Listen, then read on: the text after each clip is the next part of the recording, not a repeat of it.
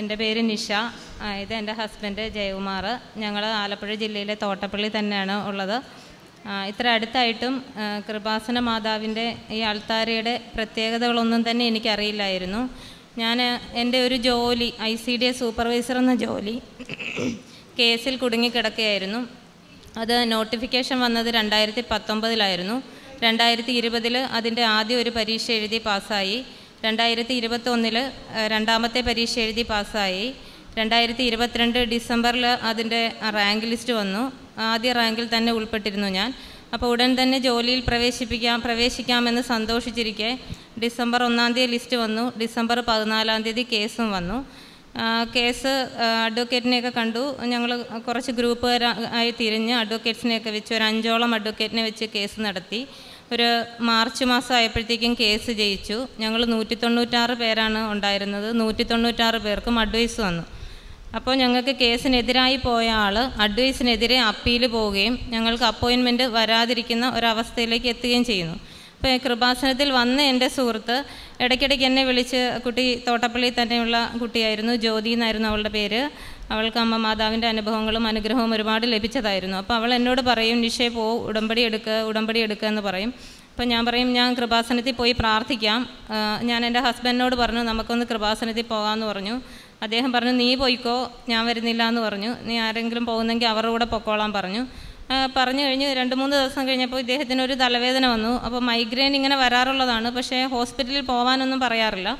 അന്നത്തെ ദിവസം എന്നോട് പറഞ്ഞു എന്നെ പെട്ടെന്ന് ആശുപത്രി കൊണ്ടുപോകണമെന്ന് പറഞ്ഞു. അങ്ങനെ കൊണ്ടുപോയി ഹോസ്പിറ്റലിൽ കിടന്നപ്പോൾ എന്റെ മനസ്സിൽ മാതാവിന്റെ ഈ രൂപമാണ് വന്നത്. ഞാൻ പെട്ടെന്ന് തന്നെ ഫോണിൽ മാതാവിന്റെ ഒരു സ്ക്രീൻഷോട്ട് എടുത്ത് വെച്ച് ഇദ്ദേഹത്തിന്റെ തലക്കീഴിലിരുന്ന് പ്രാർത്ഥിച്ചു. പ്രാർത്ഥിച്ചു. ഞങ്ങൾ അസുഖം കുറച്ച് കഴിഞ്ഞ് കുറഞ്ഞു. ഞങ്ങൾ വീട്ടിൽ വന്നു. രണ്ട് ദിവസം കഴിഞ്ഞപ്പോൾ വീണ്ടും ഞങ്ങൾ കൃപാസനത്തിൽ വരുവാൻ തീരുമാനിച്ചു. വന്നു. ഈ അൾത്താരയെക്കുറിച്ച് അറിയില്ല. വാതുക്കെ വന്നു മെഴുകുതിരി കത്തിച്ചു പ്രാർത്ഥിച്ചു പോയി. പിന്നീട് വീണ്ടും വന്നു അവിടെ തന്നെ മെഴുകുതിരി കത്തിച്ച് പ്രാർത്ഥിച്ചു പോയി. മൂന്നാമത്തെ പ്രാവശ്യം എറണാകുളത്തായിരുന്നു കേസുമായി ബന്ധപ്പെട്ട അഡ്വക്കേറ്റ് ഉള്ളത്. അവിടെ വണ്ടി പിടിച്ച് കുറച്ച് ടീച്ചേഴ്സുമായി പോയി കൂട്ടുകാരൊക്കെ എറണാകുളത്തും കൊല്ലത്തും ഒക്കെ ഉള്ളവർ തിരിച്ചു വന്നപ്പോൾ ഞാൻ പറഞ്ഞു മാതാവ് ഇവിടെ അത്ഭുതം പ്രവർത്തിക്കുന്ന മാതാവാണുള്ളത്. നമുക്കിവിടെ കയറി പ്രാർത്ഥിക്കാമെന്ന് പറയുന്നു. അപ്പോഴും ഈ ആൾത്താരെക്കുറിച്ച് അറിയില്ല. അവരെയും കൊണ്ട് അവിടെ വന്നു. വണ്ടി പിടിച്ച് വന്നവരാണ് കുറച്ചധികം പേരുണ്ട്. അവരെ അവിടെ നിന്ന് എല്ലാവരും കൂടെ പ്രാർത്ഥിച്ചു പോയി. അത് കഴിഞ്ഞ് എന്നെ ആദ്യം ഇവിടെ പറഞ്ഞു വിട്ട് എന്റെ സുഹൃത്തിനോട് ഞാൻ പറഞ്ഞു ഞാൻ കൂട്ടുകാരുമായിട്ട് ഇന്ന് പോയിട്ടുണ്ടായിരുന്നു പറഞ്ഞു. അപ്പോൾ അവൾ ചോദിച്ചു നിങ്ങളെല്ലാവരും പോയി മുട്ടുകുത്തി പ്രാർത്ഥിച്ചോ? അപ്പോൾ ഞാൻ പറഞ്ഞില്ല അതെവിടെയായിരുന്നു എന്ന് ചോദിച്ചപ്പോഴാണ് ഈ അവൾ ഈ അൾത്താരയുടെ പ്രത്യേകത എനിക്ക് പറഞ്ഞു തരുന്നത്. അങ്ങനെ ഒക്ടോബർ പതിമൂന്നാം തീയതി ഞങ്ങളുടെ കേസിന്റെ വിധി വരുന്ന ദിവസമായിരുന്നു. അവസാന വാദം നടക്കുന്ന ദിവസം. ആദ്യം കേസ് കൈകാര്യം ചെയ്തിരുന്നത് ഒരു ജഡ്ജായിരുന്നു. ഓഗസ്റ്റ് മുപ്പതിന് ആ ഒരു ജഡ്ജിന്റെ കേസ് രണ്ട് ഡിവിഷൻ ബെഞ്ചിൽ കൊടുക്കുകയുണ്ടായി. അപ്പോൾ ഓഗസ്റ്റ് മുപ്പതിന് ഞങ്ങൾ ജയിക്കുമെന്ന ദിവസം വന്നപ്പോൾ കേസ് കൈകാര്യം ചെയ്തിരുന്ന ജഡ്ജി ഞങ്ങൾക്ക് അനുകൂലമായും അന്നേ ദിവസത്തേക്ക് ഹാജരായ ജഡ്ജി ഞങ്ങൾക്കെതിരെയും വിധി പറഞ്ഞു ഓഗസ്റ്റ് മുപ്പതിന്. അത് കഴിഞ്ഞപ്പോൾ ഈ കേസ് ഡിവിഷൻ ബെഞ്ചിന് വിട്ടു. ഡിവിഷൻ ബെഞ്ച് കഴിഞ്ഞ് ഫുൾ ബെഞ്ചിന് വിട്ടു. ഫുൾ ബെഞ്ചിൽ മൂന്ന് ജഡ്ജിമാരായിരുന്നു വിധി പറയേണ്ടത്. ആ വിധിയുടെ അവസാന വാദം ഒക്ടോബർ പന്ത്രണ്ടിന് നടക്കുകയെ ഞങ്ങൾ ഞാനും എന്റെ കൂടെ ഈ കേസിൽ ഉൾപ്പെട്ട ഒരു ടീച്ചറും കൂടെ ഇവിടെ വന്നിരുന്ന് രാവിലെ മുതൽ പ്രാർത്ഥിക്കാൻ തുടങ്ങി. അന്നാണ് ആദ്യമായി ഈ അൾത്താരയിലേക്ക് ഇവിടേക്ക് വരുന്നത്. അങ്ങനെ വന്നു അവിടെ വാദം നടക്കുമ്പോൾ അവിടെ കോടതിയിലുള്ളവർ ജഡ്ജി ഞങ്ങൾക്കെതിരായി പറഞ്ഞുകൊണ്ടേയിരുന്നു. അതനുസരിച്ച് ഞങ്ങൾ ഇവിടെ അമ്മയുടെ മുന്നിൽ മെഴുകുതിരി പോലെ ഉരുകി ഉരുകി പ്രാർത്ഥിച്ചുകൊണ്ടേയിരുന്നു. അവസാനം ജഡ്ജ് ഞങ്ങൾക്ക് അനുകൂലമായി പറയാൻ തുടങ്ങി. നിങ്ങളിനി എണ്ണീറ്റോ എന്ന് കോടതിയിൽ നിന്ന് വിളിച്ച് പറയുന്നവരെ ഞങ്ങളൊരു സന്ധ്യ ആറ് ആറേകാലാണ് അന്ന് കോടതി പിരിഞ്ഞത്. അന്ന് വരെ ഞങ്ങൾ ഇവിടെ ഇരുന്ന് പ്രാർത്ഥിച്ചു. പ്രാർത്ഥിച്ചു ഒക്ടോബർ പതിമൂന്നാം തീയതി അപ്പോൾ പന്ത്രണ്ടാം തീയതി വൈദ്യുതി തീർന്നില്ല. പതിമൂന്നിന് മാറ്റിവെച്ചെന്ന് പറഞ്ഞു. ഞാനന്ന് ആ കോടതി പോയിരുന്നു. തിരുവനന്തപുരം കെ എറ്റിലാണ് അഡ്മിനിസ്ട്രേറ്റീവ് ട്രൈബ്യൂണലിലാണ് കേസ് നടക്കുന്നത്. അവിടെ പോയി അന്ന് വിധി പറയുമെന്ന് വിചാരിച്ചു. ഫുൾ ബെഞ്ച് കൂടി ജഡ്ജ് അവസാനം പറഞ്ഞു അടുത്ത ദിവസത്തേക്ക് വിധി മാറ്റിവെക്കുകയാണ് അപ്പോൾ ഇവിടെ പ്രാർത്ഥിച്ചുകൊണ്ടിരിക്കുമ്പോൾ എന്റെ കൂട്ടുകാരി എന്നോട് പറയുന്നുണ്ട് നിഷേ ഉടമ്പടി എടുക്കുക ഉടമ്പടി എടുക്കുക ഞാൻ പറഞ്ഞു എനിക്കറിയില്ല അത് എന്തുവാണെന്ന് എനിക്കറിയില്ല. നമുക്ക് ഇവിടെ ഇരുന്ന് പ്രാർത്ഥിക്കാം. അപ്പോൾ തിരിച്ചു ഒക്ടോബർ പതിമൂന്നിനും വിധി പറയാഞ്ഞപ്പോൾ എനിക്ക് മനസ്സിലായി ദൈവത്തിന്റെ ഇടപെടലില്ലാതെ ഇനി ഞങ്ങളുടെ ഒരു മെറിറ്റിനാൽ ഈ ജോലി നേടുക സാധ്യമല്ല എന്ന് മനസ്സിലാവുകയും ഒക്ടോബർ പതിനഞ്ചിന് ഇവിടെ വന്ന് ഉടമ്പടി എടുക്കുകയും ചെയ്തു. അപ്പോഴാണ് ഉടമ്പടി ക്ലാസ്സിൽ പങ്കെടുത്തപ്പോഴാണ് ഉടമ്പടി എന്താണെന്ന് എനിക്ക് മനസ്സിലായത്. ഉടമ്പടി എടുത്തു. നിയോഗമായി വെച്ചിരുന്നത് ആദ്യം ജോലി തന്നെയായിരുന്നു. പക്ഷേ രണ്ടാമത് നിയോഗം വെച്ചിരുന്നത് എന്റെ വീട്ടിൽ ഞങ്ങൾക്കൊരു ഫംഗൽ ഇൻഫെക്ഷൻ ഉണ്ടായിരുന്നു. എനിക്കാണ് തുടക്കത്തിൽ വന്നതെങ്കിലും എനിക്ക് മാറി. ഹസ്ബൻഡിന് അത് വളരെ ഗുരുതരമായിട്ട് വളരെ ബുദ്ധിമുട്ടുണ്ടാകുന്ന പുറത്ത് അദ്ദേഹത്തിന് പബ്ലിക്കിന്റെ മുന്നിൽ നിൽക്കാൻ പറ്റാത്ത രീതിയിൽ വളരെ ബുദ്ധിമുട്ട് അനുഭവിക്കുന്ന രീതിയിലുണ്ടായി. പക്ഷേ അത് ഉടമ്പടിയിലൂടെ മാറി. ഒക്ടോബർ പതിനഞ്ചിന് ഉടമ്പടി എടുത്തത് ജനുവരി പതിനഞ്ചിനാണ് ഉടമ്പടി തീർന്നത്. ജോലിയുടെ കാര്യത്തിൽ തീരുമാനം ഉണ്ടായില്ല. അതിനിടയിൽ ഞാൻ അച്ഛനെ വന്ന് കണ്ടു ബ്ലെസ്സിങ് വാങ്ങിച്ചു. അച്ഛൻ എനിക്ക് കാശ് രൂപം തന്നു. അച്ഛൻ പറഞ്ഞു നീ ഉടമ്പടിയിൽ തന്നെ നിലനിൽക്കുകയാണെങ്കിൽ അമ്മ മാതാവ് നിന്റെ കാര്യങ്ങൾ ഏറ്റെടുക്കുമെന്ന് പറഞ്ഞു. ഞാൻ പ്രാർത്ഥിച്ചുകൊണ്ടേയിരുന്നു പൊതിച്ചോറ് കൊടുക്കുന്നുണ്ടായിരുന്നു പത്രം കൊടുക്കുന്നുണ്ടായിരുന്നു പ്രാർത്ഥനയിൽ മുഴുകി. പക്ഷേ ബൈബിൾ വായനയോ അങ്ങനെയുള്ള കാര്യങ്ങളൊന്നും ഇല്ലായിരുന്നു. ഞാൻ ഹിന്ദുവാണ് ബൈബിൾ എന്താ എനിക്ക് വായിക്കാൻ അറിയില്ലായിരുന്നു. അതിന് എനിക്ക് ഇല്ലായിരുന്നു എനിക്ക് അങ്ങനെ ഒരു പുസ്തകം. അപ്പോൾ ജനുവരി പതിനഞ്ചിന് ഉടമ്പടി തീർന്നു. അപ്പോൾ ഹസ്ബൻഡ് എന്നോട് പറയുന്നുണ്ട് എന്നേക്കാൾ കൂടുതൽ സമയം അദ്ദേഹമാണ് പ്രാർത്ഥനകളിൽ മുഴുകിയിരുന്നത്. അദ്ദേഹം ഡിസംബർ പതിനഞ്ച് ആയപ്പോഴത്തേക്കും ജനുവരി പതിനഞ്ച് ആദ്യത്തെ ഉടമ്പടി തീർന്നു. അപ്പോൾ എന്നോട് അദ്ദേഹം പറഞ്ഞു നീ ഉടമ്പടി പുതുക്കാൻ പോകുന്നില്ലേ? ഇല്ലെങ്കിൽ നീ പോയില്ലെങ്കിൽ ഞാൻ പോയി പുതുക്കുമെന്ന് പറഞ്ഞു. അപ്പോൾ ഞാൻ പറഞ്ഞു ഞാൻ അടുത്ത ഞായറാഴ്ച പോകാമെന്ന് പറഞ്ഞു. അപ്പോൾ പിന്നീട് രണ്ടാം ഉടമ്പടിയിലേക്ക് മാതാവ് എന്നെ ഒരുക്കുകയായിരുന്നു എന്ന് വേണേൽ പറയാം. എന്റെ മകൾ പഠിക്കുന്നത് നങ്ങ്യാർകുളങ്ങര ഒരു ഒരു പ്രശസ്തമായ ക്രിസ്ത്യൻ സ്കൂളിൽ തന്നെയായിരുന്നു. അപ്പോൾ അവൾ അവൾ എസ് എൽ സി ആണ്. അവൾക്ക് അവളുടെ ഒരു എക്സാമിന്റെ തലേന്ന് അവൾ അവിടെ പോയിരുന്ന് പ്രാർത്ഥിച്ചു ചാപ്പലിൽ പ്രാർത്ഥിച്ചു. പ്രാർത്ഥിച്ച് അവൾ അവിടെ നിന്ന് കരഞ്ഞ് പ്രാർത്ഥിച്ചു നന്മ നിറഞ്ഞ മറിയം ചൊല്ലിക്കൊണ്ടിരുന്നപ്പോൾ അവളുടെ രണ്ട് സുഹൃത്തുക്കൾ ആ സ്കൂളിൽ തന്നെയുള്ള കുട്ടികളാണ്. അവൾ വലിയ സ്കൂളാണ്. പത്തയ്യായിരം പേര് പഠിക്കുന്ന ഒരു സ്കൂളാണ്. ആ കുട്ടികളെ കണ്ടിട്ടുണ്ടെന്നറിയ അല്ലാതെ സംസാരിച്ചിട്ടില്ല. അവർ കുറേ നേരം അവളെ നോക്കി നിന്നു. നോക്കി നിന്നിട്ട് വന്ന് പറഞ്ഞ് അവളെ വിളിച്ച് എന്താ നീ കരയുമായിരുന്നു എന്ന് ചോദിച്ചു. അപ്പോൾ അവൾ പറഞ്ഞു നാളെ ഐ ടി എക്സാം തുടങ്ങുമല്ലേ ഞാൻ മാതാ ഇവിടെ പള്ളിയിൽ പ്രാർത്ഥിച്ചതാണ് ഈശോയുടെ അടുത്ത്. എന്ന് പറഞ്ഞപ്പോൾ അവർ അവർ അവളോട് ചോദിച്ചു നിനക്ക് കൃപാസന അറിയാവോ എന്ന് ചോദിച്ചു. അപ്പോൾ അവൾ പറഞ്ഞു അറിയാം എന്റെ അമ്മ പോയിട്ടുണ്ടെന്ന് പറഞ്ഞു. അപ്പോൾ ചോദിച്ചു നിന്റെ അമ്മ ഇപ്പോൾ ഉടമ്പടിയിലാണോ? എന്ന് ചോദിച്ചു. അപ്പോൾ അവൾ പറഞ്ഞു ഉടമ്പടി തീർന്നു. അപ്പോൾ എങ്കിൽ നിന്റെ അമ്മയോട് എളുപ്പം പോയി ഉടമ്പടി പുതുക്കാൻ പറയുമെന്ന് പറഞ്ഞു. നിന്റെ അമ്മയ്ക്ക് ബൈബിൾ ഉണ്ടോ? എന്ന് ചോദിച്ചു. അപ്പോൾ അവൾ പറഞ്ഞു ഇല്ല എന്ന് പറഞ്ഞു. അപ്പോൾ ആ കുട്ടി പറഞ്ഞു എനിക്ക് ക്രിസ്മസ് സമ്മാനമായിട്ടൊരു ബൈബിളാണ് കിട്ടിയത്. അത് നിന്റെ അമ്മയ്ക്ക് ഇരിക്കട്ടെ ഞാൻ നിനക്ക് കൊണ്ടുതരാമെന്ന് പറഞ്ഞു. അങ്ങനെ എന്റെ വീട്ടിലേക്ക് ബൈബിൾ എത്തി. ഞാൻ മാതാവിന്റെ പത്രം വെച്ചിട്ടാണ് പ്രാർത്ഥിച്ചുകൊണ്ടിരുന്നത്. എനിക്ക് മാതാവിന്റെ രൂപങ്ങളോ ഫോട്ടോകളോ ഒന്നുമില്ലായിരുന്നു. മാതാവിന്റെ പത്രമാണ് ഞാൻ വെച്ച് മെഴുകുതിരി കത്തിച്ച് പ്രാർത്ഥിച്ചുകൊണ്ടിരുന്നത്. ഈ ഷോയുടെ ഫോട്ടോയും ഒന്നുമില്ലായിരുന്നു. മോൻ പഠിക്കുന്നതും ഒരു ക്രിസ്ത്യൻ സ്കൂളിലായിരുന്നു. അപ്പോൾ അവിടെയും ഒരു ചാപ്പലുണ്ടായിരുന്നു. അവിടുത്തെ അച്ഛൻ ക്രിസ്മസിന് അവർക്ക് ഈശോയുടെ ചെറിയ രൂപം ചെറിയ ഫോട്ടോ നൽകി. അങ്ങനെ ആ ഫോട്ടോ എന്റെ വീട്ടിലെത്തി. അപ്പോൾ ഫോട്ടോയും വെച്ച് പ്രാർത്ഥിക്കാൻ തുടങ്ങിയതുകൂടെ ഞങ്ങളുടെ പ്രാർത്ഥനാ രീതികൾ കൂടുതൽ മാറി. കുറേയേറെ ഞങ്ങൾക്ക് എന്താണ് ഈശോയോട് കുറേ കൂടെ അടുക്കാൻ പറ്റുന്നതായി ഞങ്ങൾക്ക് മനസ്സിലായിരുന്നു.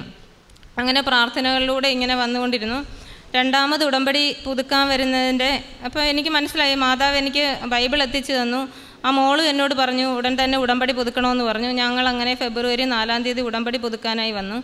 അപ്പോൾ ആദ്യ ഉടമ്പടിയിൽ എന്റെ ജോലിയുടെ കാര്യം തീരുമാനമായില്ല എങ്കിലും എനിക്ക് പൂർണമായും ഉറപ്പായിരുന്നു. അത് എന്റെ പ്രാർത്ഥനകളിൽ എന്തോ പിശവ് കൊണ്ടോ എന്നെ മാതാവ് പൂർണമായും ഒരുക്കിക്കൊണ്ടിരിക്കുകയാണെന്ന് എനിക്ക് ഉറപ്പായിരുന്നു. നൂറ് ശതമാനം എനിക്കത് ഉറപ്പായിരുന്നു. അപ്പോൾ ഞാൻ ഈ ഫെബ്രുവരി നാലിന് രണ്ടാമത്തെ ഉടമ്പടി പുതുക്കുന്നതിന് വരുമ്പോൾ ഞാൻ ഹസ്ബൻഡിനോട് പറഞ്ഞു എനിക്കിന്ന് മാതാവിന്റെ ഉടമ്പടിയിൽ ഏതെങ്കിലും ഒരു ടോക്കൺ കിട്ടുമായിരിക്കും. എന്ന് പറഞ്ഞു. അമ്മ മാതാവിനെ കിട്ടാനുള്ള യോഗ്യത എനിക്ക് എന്തായാലും ഇല്ല എന്ന് പറഞ്ഞു. അങ്ങനെ ഞാൻ വന്നു. ഉടമ്പടി പ്രാർത്ഥനയെല്ലാം കഴിഞ്ഞ് പുതുക്കുന്നതിനായി ഞങ്ങളെ അവിടെ ഇങ്ങനെ വരിയായി നിർത്തി. വരിയായി നിർത്തി ഞാനൊരു ലാസ്റ്റ് ഭാഗത്താണ് നിന്ന്. അന്നേരം ആ ഈ തിരുവൾത്താരയിൽ അമ്മ മാതാവിന്റെ ഒരു പ്രാർത്ഥന കനിവിന്റെ അമ്മയെന്നുള്ള പ്രാർത്ഥന ഒരു കുട്ടി ഇവിടെ പാടുന്നുണ്ടായിരുന്നു. സിസ്റ്റർ അവിടെ ഉടമ്പടിയുടെ കാര്യങ്ങൾ പറഞ്ഞുകൊണ്ടിരുന്ന സമയത്ത് ഈ മോളുടെ പ്രാർത്ഥന കേട്ട് ഞാൻ പാട്ട് കേട്ട് ഞാൻ ഇങ്ങോട്ട് നോക്കി നിന്നു. സിസ്റ്റർ പറഞ്ഞു ഒന്നും കേട്ടില്ല. ഞാൻ അതിൽ നിന്ന് വിട്ടുപോയി. ഞാൻ തിരിഞ്ഞു വന്നപ്പോൾ ഈ ടോക്കൺ കൊടുത്തുകൊണ്ടിരിക്കുക സിസ്റ്ററിന്റെ പിന്നെ ഒരു ടോക്കണേ ഉള്ളൂ. പെട്ടെന്ന് സിസ്റ്റർ ആ ടോക്കൺ എന്റെ നേരെ നീട്ടി. ഞാനത് മേടിച്ചു. പക്ഷേ അത് എന്താണെന്നൊന്നും ഞാൻ നോക്കിയില്ല. ഇങ്ങനെ പിടിച്ചു ഫ്രണ്ടിൽ ചെന്ന് നിന്നു. ചെന്ന് നിന്നപ്പം ഓരോരുത്തരെ വിളിച്ചു. സിസ്റ്റർ പറഞ്ഞു മെഴുകുതിരി കിട്ടിയവർ വരൂ. മുത്തുക്കുട കിട്ടിയവർ വരാൻ പറഞ്ഞു. അമ്മ മാതാവിനെ കിട്ടിയത് ആരാന്ന് ചോദിച്ചു. എന്റെ കയ്യിലിരുന്ന് എന്തുവാണെന്ന് ഞാൻ നോക്കിയിട്ടില്ല. ഞാനപ്പം മനസ്സിൽ വിചാരിച്ച് ഇവിടെ കിട്ടാത്തത് എന്തുവാണോ അത് ഞാൻ പറയാം. ഞാൻ നോക്കിയിട്ടില്ലല്ലോ. അപ്പം ഞാനും അമ്മ മാതാവിനെ കിട്ടിയത് ആരാണെന്ന് ചോദിച്ചപ്പോൾ ഞാനും തിരിഞ്ഞു നോക്കി. തിരിഞ്ഞു നോക്കിയപ്പോൾ സിസ്റ്റർ എന്നോട് ചോദിക്കുന്നു നിനക്കല്ലേ മാതാവിനെ കിട്ടിയത്? നീ പിന്നെ എന്തിനാ തിരിഞ്ഞു നോക്കുന്നതെന്ന് ചോദിച്ചു. ഞാൻ എന്ത് ചെയ്യണമെന്ന് എനിക്കറിയാൻ വയ്യ. ഞാൻ കണ്ണീര് കൊണ്ട് അമ്മ മാതാവിനെ അഭിഷേകം ചെയ്തു. ഞാൻ എനിക്ക് എന്റെ കണ്ണീരാൽ അമ്മ എനിക്ക് എന്ത് ചെയ്യണമെന്ന് അറിയത്തില്ല. അത്രമേൽ ഞാൻ പൊട്ടിക്കരഞ്ഞു പോയി. അങ്ങനെ അമ്മ മാതാവിന്റെ എനിക്ക് കിട്ടി. അപ്പം അതിന് രണ്ട് ദിവസം മുമ്പ് മുതലേ എനിക്ക് മുല്ലപ്പൂവിന്റെ അഭിഷേകം വരുന്നുണ്ടായിരുന്നു. മണം വരുന്നുണ്ട്. ഞാൻ എല്ലാവരോടും ചോദിക്കുന്നുണ്ട്. എനിക്ക് വാടിയ മുല്ലപ്പൂവിന്റെ സുഗന്ധം വരുന്നെന്ന് പറയുന്നുണ്ട്. ഞാൻ എന്റെ ബാലിശമായ മനസ്സാണോ പരീക്ഷിച്ചാണോ? ഞാനിവിടെ വാതിക്കെ വന്ന അവിടെ വാതിക്കെ വന്നപ്പോൾ മുല്ലപ്പൂ എടുത്ത് മണപ്പിച്ച് നോക്കി. മണപ്പിച്ച് നോക്കിയിട്ട് ഞാൻ തന്നെ പറയുന്നുണ്ട് മുല്ലപ്പൂന്റെ മണം വരുന്നില്ലല്ലോ എന്ന് പറഞ്ഞു. ഉടമ്പടി എടുത്ത് പ്രാർത്ഥിക്കാൻ അകത്ത് കയറി അകത്ത് കയറി ഞാൻ ഫ്രണ്ടിലാണ് ഇരുന്നത്. മുല്ലപ്പ് ഇട്ടിട്ടുണ്ട് പക്ഷേ എനിക്ക് സുഗന്ധം വരുന്നില്ല. കണ്ണടച്ച് പ്രാർത്ഥിച്ചുകൊണ്ടിരുന്നപ്പോൾ ഒരു നിമിഷം എന്റെ ആ വാടിയ മുല്ലപ്പൂവിന്റെ സുഗന്ധം എന്റെ മൂക്കിലേക്ക് അടിച്ചു കയറി. അപ്പോൾ എനിക്ക് പൂർണമായിട്ടും മനസ്സിലായി. കഴിഞ്ഞ രണ്ട് ദിവസങ്ങളിലായി എനിക്ക് ഈ മുല്ലപ്പൂവിന്റെ സുഗന്ധം തരുന്നത് അമ്മ മാതാവ് തന്നെയാണെന്ന് എനിക്ക് മനസ്സിലായി. അങ്ങനെ ഞാൻ ഉടമ്പടി എടുത്ത് പ്രാർത്ഥിച്ചുകൊണ്ടിരുന്നു. എല്ലാം പ്രേക്ഷിത പ്രവർത്തനങ്ങളും ചെയ്തുകൊണ്ടിരുന്നു. അച്ഛന്റെ ധ്യാനങ്ങൾ കൂടിക്കൊണ്ടിരുന്നു. ഉപവാസം എടുക്കുന്നുണ്ടായിരുന്നു. അച്ഛന്റെ ധ്യാനങ്ങളിൽ എന്റെ സംശയങ്ങൾക്കുള്ള ഓരോ ചോദ്യങ്ങൾക്ക് എല്ലാത്തിനും ഉത്തരം ഉണ്ടായിരുന്നു അങ്ങനെ ഒരു ദിവസം അച്ഛന്റെ ധ്യാനം കേട്ടുകൊണ്ടിരുന്നപ്പോൾ അച്ഛൻ ഒരു ജോജോ എന്ന മകന്റെ സാക്ഷ്യത്തെക്കുറിച്ച് പറയുണ്ടായി അപ്പോൾ ആ മകൻ പ്രത്യക്ഷീകരണ മധ്യസ്ഥ പ്രാർത്ഥന ചൊല്ലിക്കൊണ്ട് മാത്രം അദ്ദേഹത്തിന്റെ രോഗം ശമിപ്പിച്ച കാര്യം പറയുകയുണ്ടായി. അപ്പം ഞാൻ എന്റെ ഹസ്ബൻഡിനോട് പറഞ്ഞു ഞാൻ എപ്പോഴും വിശ്വാസ പ്രമാണം ചൊല്ലും. നന്മ നിറഞ്ഞ മറിയം ചൊല്ലും. പ്രത്യക്ഷീകരണ മധ്യസ്ഥ പ്രാർത്ഥന രാവിലെ ചൊല്ലുന്നതല്ലാതെ ഇങ്ങനെ പകൽ ചൊല്ലിക്കൊണ്ട് നടക്കാറില്ലായിരുന്നു. ഞാൻ എപ്പോഴും വിശ്വാസ പ്രമാണമായിരുന്നു ചൊല്ലിക്കൊണ്ടിരുന്നത് അപ്പം ഞാൻ പറഞ്ഞു ഞാൻ അങ്ങനെ പ്രത്യക്ഷീകരണ മധ്യസ്ഥ പ്രാർത്ഥന ചൊല്ലാറില്ലല്ലോ എന്ന് പറഞ്ഞു. അതിന്റെ ആ ധ്യാനത്തിന്റെ ആശീർവാദ സമയമായി കണ്ണുകൾ അടച്ച് ഞാൻ പ്രാർത്ഥിച്ചുകൊണ്ടിരുന്നപ്പോൾ എന്റെ മുഖത്തേക്ക് വലിയൊരു വെട്ടം അടിക്കുന്നതായും അമ്മമാതാവ് ഇങ്ങനെ മുന്നിൽ പ്രത്യക്ഷപ്പെടുന്നതായിട്ടും തോന്നി. വലിയൊരു രൂപം ഇതേ ആൾത്താരെയും ഈ സമുദ്രതീരവും വള്ളങ്ങളും ഒക്കെയുള്ള വലിയൊരു പിക്ചറായിട്ട് അമ്മ മാതാവിന്റെ ഒരു തിരുസ്വരൂപം എന്റെ മുന്നിലേക്ക് പ്രത്യക്ഷപ്പെട്ട് വരുന്നതായിട്ട് എനിക്ക് തോന്നി. ഞാൻ പിറ്റേ ദിവസം തന്നെ ഞങ്ങൾ രണ്ടുപേരും കൂടി ഇവിടെ വന്ന് അമ്മ മാതാവിന്റെ ഫോട്ടോ മേടിച്ചുകൊണ്ട് പോയി വെച്ച് പ്രാർത്ഥിക്കാൻ തുടങ്ങി. കരുണ കൊന്ത ചൊല്ലാറുണ്ട്. എല്ലാ ദിവസവും കരുണ കൊന്ത ചൊല്ലാറുണ്ട്. ജപമാല ചൊല്ലാറുണ്ട്. അങ്ങനെ കോടതി വിധി ഇപ്പം ഒരുപാട് ആളുകൾ ഈ കേസിന്റെ വിധിക്ക് വേണ്ടിയും ഒക്കെ പ്രവർത്തിക്കുന്നുണ്ടായിരുന്നു. അപ്പം ഞാൻ മാതാവിനോട് പറഞ്ഞു അമ്മ മാതാവേ എനിക്ക് ആൾത്താരയിൽ സാക്ഷ്യം പറയണം. അങ്ങനെയാണെങ്കിൽ അമ്മ തന്നെ തരുന്നതാണെന്ന് എനിക്ക് ഈ ജോലിയെന്ന് എനിക്ക് തെളിയിച്ചു തരണം. എങ്കിൽ എനിക്ക് പൂർണമായും അമ്മയുടെ തിരുവൾത്താരയിൽ സാക്ഷ്യം പറയാൻ അവസരം കിട്ടത്തുള്ളൂ. അതല്ലാതെ ഈ ജോലിക്ക് വേണ്ടി പ്രവർത്തിക്കുന്നവരെല്ലാവരും അവർ അവകാശവാദം ഉന്നയിക്കുന്നുണ്ട്. അതുകൊണ്ട് എനിക്ക് സാക്ഷ്യം പറയണമെങ്കിൽ അമ്മ തന്നെ എനിക്ക് ഇതിനൊരു അവസരം തരണമെന്ന് പറഞ്ഞു.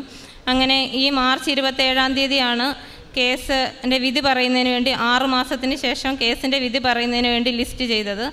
ലിസ്റ്റ് ചെയ്ത ദിവസം അവസാന ഞായറിന്റെ അന്ന് മുതൽ എന്റെ രാവിലത്തെ പ്രത്യക്ഷീകരിക്കുന്ന മധ്യസ്ഥ പ്രാർത്ഥന ചൊല്ലുന്ന നീലമെഴുകുതിരിയിൽ അമ്മ മാതാവിന്റെ ചെറിയൊരു രൂപം പ്രത്യക്ഷപ്പെടാൻ തുടങ്ങി.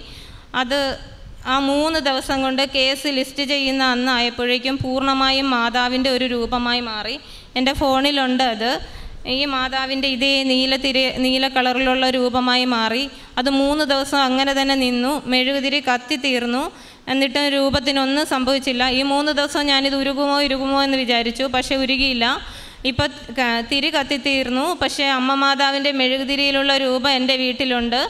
ഇപ്പം ഞാൻ അതും കൂടി വെച്ചിട്ടാണ് പ്രാർത്ഥിക്കുന്നത്. അത് ഇരുപത്തിയേഴാം തീയതി മുതലുള്ള കാര്യമാണ്. ഒന്നാം തീയതിയാണ് ശരിക്കും ഓർഡറുകൾ അയച്ചു തുടങ്ങിയത്. അന്ന് ഈ എന്റെ വീട്ടിൽ മോന്റെ സ്കൂളിൽ നിന്ന് കൊടുത്ത ഈശോയുടെ രൂപത്തിൽ വിയർപ്പ് കണങ്ങൾ ചുമന്ന രൂപത്തിൽ വിയർപ്പ് കണങ്ങൾ പ്രത്യക്ഷപ്പെട്ടു. അത് ഈ രൂപ ഇവിടെ ഈ ഭാഗത്തായിട്ട് രണ്ട് മൂന്ന് തുള്ളി വിയർപ്പ് കണങ്ങൾ പ്രത്യക്ഷപ്പെട്ടു. അത് ഡ്രോപ്സ് ആയിട്ട് തന്നെ ഇങ്ങനെ ഇരുന്നു. തുള്ളി വീഴുന്നുണ്ടായിരുന്നില്ല. ഒരു തുള്ളി ഇവിടെയും ആയിട്ട് ഇങ്ങനെ ഉണ്ടായിരുന്നു. മൂന്ന് തുള്ളി ഇങ്ങനെ തന്നെ ഇരുന്നു. അപ്പോൾ ഞങ്ങൾക്ക് സംശയം ഇതെന്താ വെള്ളത്തുള്ളിയാണോ ഇതെന്ത് സംഭവിച്ചു എങ്ങനെ സംഭവിച്ചു എന്നൊക്കെ ഞങ്ങൾക്ക് സംശയമായിരുന്നു. എങ്കിലും ഞങ്ങൾ അഞ്ചരയ്ക്ക് കത്തിച്ച് വെച്ചത് അഞ്ചരയ്ക്ക് വെച്ച രൂപം ഒന്നും എടുത്ത് മാറ്റിയില്ല. അതങ്ങനെ തന്നെ ഇരുന്നു. കുറേ നേരം കഴിഞ്ഞപ്പോൾ ഉണങ്ങി അത് പാടായി തന്നെ ഇരുന്നു. പിന്നെ എനിക്ക് കഴിഞ്ഞ ദിവസം ഇന്നലെ ഇന്നലെ ഉച്ചയ്ക്ക് എനിക്ക് അപ്പോയിൻമെന്റ് ലെറ്റർ കിട്ടി. ഞാൻ നാളെ രാവിലെ Idukki I C D S പ്രോജക്റ്റിൽ Azhutha I C D S പ്രോജക്റ്റിൽ ഐ സി ഡി എസ് സൂപ്പർവൈസറായിട്ട് ജോലിയിൽ പ്രവേശിക്കുകയാണ്. അപ്പോൾ ഇന്ന് രാവിലെ പ്രത്യക്ഷീകരണ മധ്യസ്ഥ പ്രാർത്ഥന ചൊല്ലിക്കൊണ്ടിരിക്കുമ്പോൾ ചൊല്ലിക്കൊണ്ടിരിക്കുമ്പോൾ ഈശോയുടെ ഈ രൂപം ഈശോയുടെ ആ ഫോട്ടോ പേപ്പറാണ് കേട്ടോ. ആ ഫോട്ടോ വീണ്ടും വിയർക്കുകയാണ്. ഇവിടെയല്ല ഈ താടി ഭാഗത്ത് വിയർത്ത് ഇങ്ങനെ അന്ന് ഞങ്ങൾക്ക് സംശയമായിരുന്നു ഈ വെള്ളത്തുള്ളി എങ്ങനെ വന്നു എന്ന് ഇത് ഞാൻ ചെറിയൊരു പടത്തിൽ ഇങ്ങനെ ചെറിയൊരു പാട് കണ്ട് ഞാൻ ഹസ്ബൻഡിനോട് പറഞ്ഞു ദേ അത് വിയർത്ത് വരുന്നു എന്ന് പറഞ്ഞു. നോക്കി നിൽക്കേ തൊട്ട് താഴെ വലിയ പാടായി വന്നു. അത് അങ്ങനെ തന്നെ ഇരിപ്പുണ്ട്. അതും എന്റെ ഫോണിൽ ഫോട്ടോ എടുത്ത് ഞാൻ കൊണ്ടുവന്നിട്ടുണ്ട്. ആ പാടും ഉണങ്ങി ബ്ലഡ് പോലെ തന്നെ ഇപ്പോഴും വീട്ടിലിരിപ്പുണ്ട്. അത് ഞാൻ ഫോട്ടോ എടുത്തിട്ട് വന്നിട്ടുണ്ട്.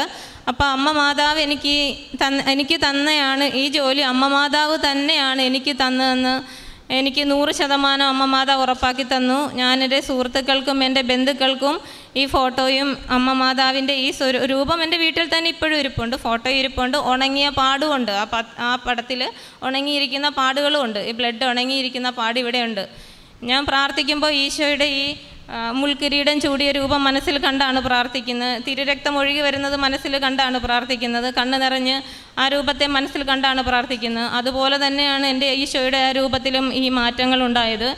അത് ഞങ്ങൾ കഴിഞ്ഞ ദിവസം ഞങ്ങൾക്ക് സംശയം എന്റെ ഹസ്ബൻഡ് ചോദിച്ചു മെഴുകുതിരി തുള്ളി വീണതാണ് അനീഷേ? എന്ന് ചോദിച്ചു. പക്ഷേ ഞാൻ തുടച്ചപ്പോൾ ഒരു ഒരു പാട് മാഞ്ഞു പോയിരുന്നു ബാക്കി രണ്ടെണ്ണം ഉണങ്ങി അവിടെ തന്നെ ഇരിപ്പുണ്ട് ഈ ഭാഗത്തത്. ഇന്ന് ഒരെണ്ണം പ്രത്യക്ഷപ്പെട്ടു. രണ്ടാമത് ഞങ്ങൾ രണ്ടുപേരും കൂടെ നോക്കി നിൽക്കുമ്പോൾ തന്നെ പ്രത്യക്ഷപ്പെട്ടു. മക്കൾ ഉറങ്ങുമായിരുന്നു. കസിന്റെ മോളുണ്ടായിരുന്നു ഞങ്ങൾ മൂന്ന് പേരെയും വിളിച്ചുണർത്തി പെട്ടെന്ന് തന്നെ മക്കളെയും കൂടെ വിളിച്ചു നിർത്തി പ്രാർത്ഥിച്ചു. ആ രൂപം വീട്ടിലിരിപ്പുണ്ട്. മെഴുകുതിരിയിലെ രൂപം തട്ടരുത് ഒടയരുതെന്നൊക്കെ വിചാരിച്ച് മാറ്റി വെച്ചിട്ടുണ്ട്. അതും പ്രാർത്ഥിക്കുന്നുണ്ട്. എന്റെ ഹസ്ബൻഡ് എല്ലാ ദിവസവും ജപമാല ചൊല്ലുകയും ബൈബിൾ വായിക്കുകയും ചെയ്യും. അരമണിക്കൂറിന് മേലെ അദ്ദേഹം ബൈബിൾ വായിക്കും. ഫ്രീ ആയി എപ്പോൾ വീട്ടിൽ ഇരുന്നാലും ബൈബിൾ വായിക്കും. പിന്നെ ഞങ്ങൾ പ്രേക്ഷിത പ്രവർത്തനങ്ങൾ ചെയ്യുന്നുണ്ട്. പൊതിച്ചോറ് കൊടുക്കുന്നുണ്ട്. പിന്നെ അവിടെ ഒരു അടുത്തൊരു ഓൾഡ് ഏജ് ഹോമിൽ പോകുന്നുണ്ട്. ഞങ്ങൾക്ക് രണ്ടുപേർക്കും അമ്മയില്ല. ഞങ്ങൾ അമ്മമാരെയും അച്ഛന്മാരെയും ഞങ്ങൾ വളരെ സ്നേഹത്തോടു കൂടെയും ഞങ്ങൾ അവരെ അവരുടെ അടുത്ത് പോവാറുണ്ട്. മക്കളോട് ഒരുമിച്ച് പോകണമെന്നാണ് ആഗ്രഹം. എപ്പോഴും ഞങ്ങളാണ് പോകുന്നത്. ഇനി മക്കളെയും കൊണ്ടുപോകണമെന്നാണ് ആഗ്രഹം. ഞങ്ങൾ ഒരുപാട് ക്ഷേത്രങ്ങളിൽ അല്ലെങ്കിൽ ഒരുപാട് സ്ഥലങ്ങളിലൊക്കെ പ്രാർത്ഥനകളും ഒക്കെ പോയിട്ടുണ്ട്. പക്ഷേ ഇങ്ങനെ ഒരു എന്താണ് ഇങ്ങനെ കരുണ നിറഞ്ഞ ഒരു അവസ്ഥ നമ്മുടെ മനസ്സിനുണ്ടായത് അല്ലെങ്കിൽ മറ്റുള്ളവരോട് ഇത്രയും കാരുണ്യത്തോടെ പ്രവർത്തിക്കാനുള്ള ഒരു മാനസികാവസ്ഥ നമുക്കുണ്ടാക്കി തന്നത് ഈശോയുടെ അല്ലെ അമ്മ മാതാവിന്റെ ഈ തിരുവൾത്താരയിൽ എത്തിപ്പെട്ടപ്പോഴാണ് കഴിവതും മറ്റുള്ളവരെ വേദനിപ്പിക്കുന്ന തരത്തിൽ ഒന്നും തന്നെ ഞങ്ങളിപ്പോൾ പ്രവർത്തിക്കാറില്ല. ആർക്കും ഒരു ദോഷമാകുന്ന ഒരു വാക്ക് പോലും ഞങ്ങൾ പ്രവർത്തിക്കരുത്. ഞങ്ങളുടെ വായിൽ നിന്ന് വരരുതെന്നാണ് ഞങ്ങളുടെ ആഗ്രഹം. പിന്നെ ഞാൻ എല്ലാ മക്കളെ മോളെ S S S L C ആണ് പഠിക്കുന്നത്. അവൾ വെഞ്ചരിച്ച ഉപ്പും ഈശോയുടെ കാശുരൂപമൊക്കെ ആയിട്ടാണ് പരീക്ഷയ്ക്ക് പോകുന്നത്. മോൻ ചെസ്സ് കളിക്കുന്ന കുട്ടിയാണ്.